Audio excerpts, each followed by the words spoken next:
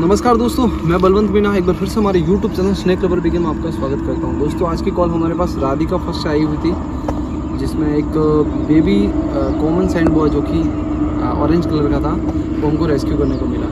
आ, ये स्नेक काफ़ी खूबसूरत होता है लेकिन इसका जो कलर होता है उसकी वजह से कई बार लोग उसको मार देते हैं क्योंकि ये थोड़ा देखने में डेंजरस लगता है। और ख़ासकर हमारे राजस्थान में ये प्रथा है कि आ, कोई लाल कलर का अगर स्नेक है तो वो उछल कर किसी के ऊपर गिरता है और वो बाइट कर जाता है। तो इसको मारवाड़ी भाषा में भीबोडी के नाम से जाना जाता है लेकिन एक्चुअली मैं आपको बता देता हूँ कि इस प्रकार का कोई स्नेक होता नहीं है ये सिर्फ़ एक अफवाह है।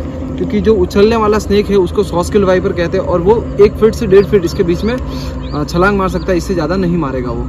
तो उसकी रफ्तार के चक्कर में कई बार लोग मात खाते हैं। चलो, मैं आपको दिखाता हूँ एक तो बहुत ही प्यारा स्नेक जिसको baby red sand boa snake नाम से जाना जाता है और इसका जो मुँह होता है वो बिल्कुल आप देख पा रहे हो कि थोड़ा सा आगे से सैंड बॉ की तरह होता है और पीछे जाके ये जो ब्लैक शेडो बने होते हैं। और इसकी लेंथ अभी छोटी है, लेकिन ये जैसे जैसे बढ़ता जाएगा, इसका कलर भी चेंज होता जाएगा।